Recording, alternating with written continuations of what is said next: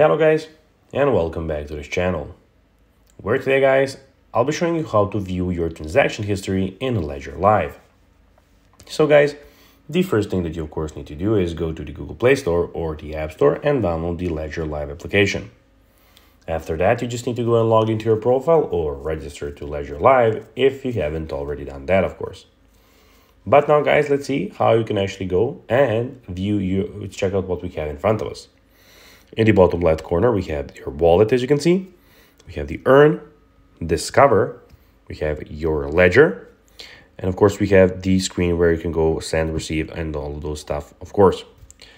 But now guys, let's see how you can actually go and view your transaction history in Ledger Live.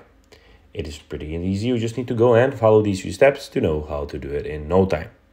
So, first of all, what you need to go and do is go and tap on a transaction in the operations list to open the operations details to track its status.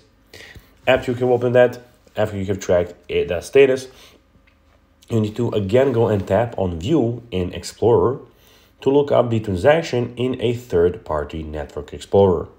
And that's when you can of course go and view your history in the Ledger Live. So guys, that will be everything for this video. I hope that you found this video informative and entertaining guys. If you did, don't forget to like this video, share it, subscribe to the channel, and put the notification on, as guys, this really helps us grow our channel. So if you have a few seconds, it'll be pretty cool if you could do this for us. So guys, as I told you, I hope that you enjoyed the video, and I'll be seeing you in the next one. Until then, as always, bye guys!